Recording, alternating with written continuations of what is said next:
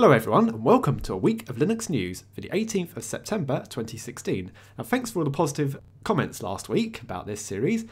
And yeah, I will intend to keep it up now. Be nice if I can get a few more views, but hey, look, one step at a time. I want to start this week with some stupid news.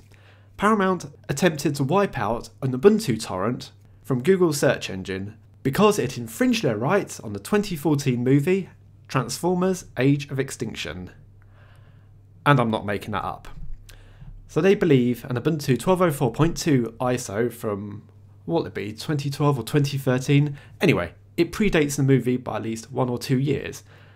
It allegedly infringes upon their rights for the movie. Now, this is a problem with the DMCA takedowns. They are automated and there are no repercussions for getting it wrong. Okay, in this instance, they hit the torrent website extratorrent.cc, so that is not a direct link to Canonical. Now let's hope it stays that way because we don't want them to hit main Linux site like Canonical and Ubuntu. Because one of the repercussions of this is that the more DMCA strikes that Google receives, the more they'll start delisting the website and lowering it down the search results. After more than a decade, Vim Editor is getting a major upgrade. Now I have to say, I don't personally use Vim, uh, my choice seems to be Nano or Kate. But I know there is a great debate in Linux of which text editor is the best, and yes, how do you know when someone uses Vim? Because they'll damn well tell you. But here's the list of improvements. Asynchronous input-output support, support for JSON. Vim can now start a job, communicate with it, and stop it. Vim can now support asynchronous timers. These can fire repeatedly and invoke any function to do any work. Plugin package support, window IDs, wrapping lines with indent. Okay, so that's a promising list of improvements, and perhaps they will prove useful for anyone who uses Vim. Linus Torvalds has revealed his favourite programming laptop. It's a Dell XPS 13 Developer Edition. I can't remember exactly which Dell laptops it was, but I remember some drivers being added to the kernel. For when the laptop detected that it was being dropped, it would shut down the hard drive. I wonder if that's something that Linus pushed for. Who knows? But there's a big write up here about why Linus enjoys that laptop. I wonder what operating system he's put on it. Getting the hardware to work and play well with GNOME desktop isn't easy. So he uses GNOME, does he? Oh, I always thought he used Xfce. Linus doesn't care about touchscreens because my fingers are big and clumsy compared to the text I'm looking at. also, I can't handle the smudges. Maybe I just particularly oily fingers. Debian version 9 Stretch is nearing final release, and the developers are holding a bug squashing party in Salzburg on the 23rd to 25th of September. Well, I do hope they get a final release that's very much stable because this is what Debian is known for, being a very stable and reliable system. I have to say though, when I tried out the KDE version a couple of months ago, it didn't work very well. They hadn't got the plasma dependency sorted out very well, and I ended up having to backport packages from SID, which didn't really work very well. So that's where I moved on to KDE Neon, and yeah, I much prefer that distro. But hey, look forward to seeing a very stable version of Debian later in the year. Canonical have released a new version of Snapcraft Snappy Creator. So Snappy is an alternate method of packaging applications where all dependencies are supplied within the one package, rather than having to rely upon set version numbers within the Debian package manager because when you have multiple applications requiring different versions of the same dependency, oh, that's when all hell breaks loose and it really becomes quite unmanageable.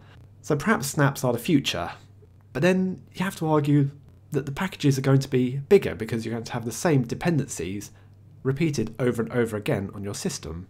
Look, I'm not going to dismiss it, it's a good idea, so it would be good if snaps were the only type of uh, package like this, but of course they're not in Linux. So Snapcraft 2.16 is now available for Ubuntu 16.04, so you can install it via the Software Center. There's a new home cloud storage. Yeah, sounds very weird that. Home cloud storage. Well, technically it's not in the cloud, is it? Because it's in your home. Although you could have it at someone else's home, in which case you could then say it's in the cloud. So the Nextcloud box for sale is coming with 1TB USB 3 Western Digital drive, a case, micro USB charger, micro SD card with snappy Ubuntu on it, and Nextcloud 10 pre-installed. all you need to do is supply a Raspberry Pi or an Odroid C2. Now the Raspberry Pi doesn't come with USB 3, so I'd imagine that would be quite throttled on USB 2. That's why I've never wanted to build a NAS from a Raspberry Pi. On the other hand though, it would be quite energy efficient. Be interested to find out what the price of this is because, because you can get plug-in NAS drives fairly cheaply these days.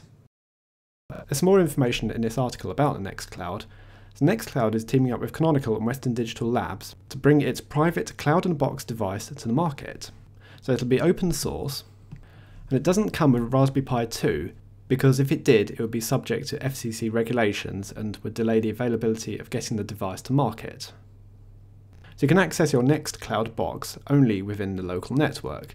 You can't yet access it over the internet. However, there are ways to access it over the internet. Yes, you open the port up on your router.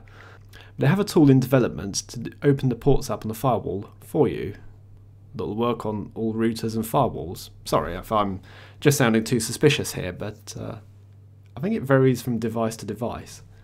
So if you want to use HTTPS, you have to install a certificate yourself. So why should you buy it? Western Digital already sells a consumer-grade device called MyCloud, which reportedly runs on Linux. The Nextcloud box could very well be the successor of MyCloud if the device receives positive feedback from users. Western Digital might switch to Ubuntu Core plus Nextcloud. Okay, but I still have to reiterate my earlier point that the Raspberry Pi does not have USB 3 speed USB ports, so it'll run slower than the SATA 3 drive that it probably has in it. A bit of gaming news here. Deus Ex Mankind Divided is officially coming to SteamOS and Linux. Wow, it's good to see a AAA gaming come to Linux. Because it is still a bit of contention here. Oh, Linux can't do gaming. Well, yes it can if you give it half a chance.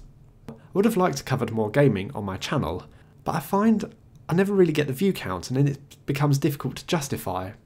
I still wonder how interested people are with Linux gaming. It's one of these difficult situations that uh, the more games that are available, the more incentive there is for people to play games on Linux, and the less the argument will be, oh, Linux can't do gaming just because it can't handle someone's favourite game. The games that I have played on Linux have worked absolutely fine, and in some cases, games on Wine have worked better than the version I've played in Windows. Some security news here. Infected Android phones could flood America's 911 emergency services with DDoS attacks.